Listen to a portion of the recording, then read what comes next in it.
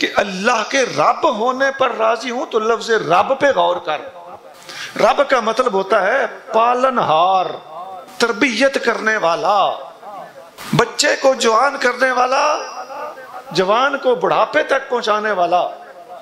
जाहिल को इल्म देने वाला, आलिम को मुबल्लिक बनाने वाला।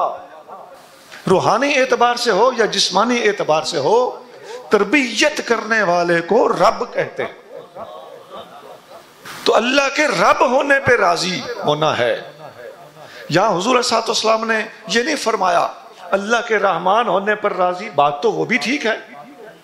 आका के इस लफ्ज के इंतखाब का कोई मकसद है? अल्लाह के करीम होने पर राज़ी, अल्लाह के रजाक होने पर राज़ी, लफ्ज रब बोला है। इसमें हमारे लिए सबक क्या है कि हमने अपनी तरबियत खा जाहरी हो, खा बातनी हो। इसके लिए हमने तवज्जो, अपने दिमाग की यकसुई, अपने कल्ब का रुख, अपने बर्तन को सीधा अगर करना है और अपने भांडे को फैलाना है तो अल्लाह की बारगाह में फैलाना है। और जो अल्लाह को रब मानता है वो किसी की जेब पे नज़र नहीं रखता। जो अल्लाह को रब मानता है, वो हलाम का रिस्क नहीं खाता। जो अल्लाह को रब मानता है, वो अल्लाह के दिए पे शाकिर रहता है।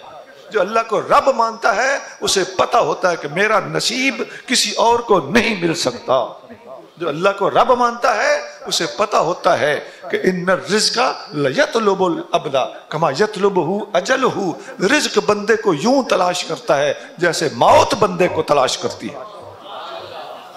जो अल्लाह को रब मानता है, वो रिज्क के पीछे नहीं भागता, रिज्क उसके पीछे भागता है।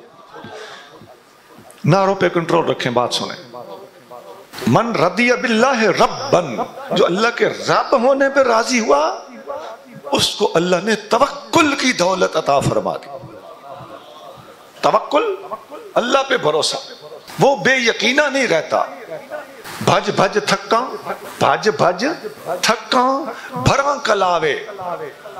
जो कुछ लिखया वह कुछ आवे। अल्लाह के रब होने को मानने का यह मकसद।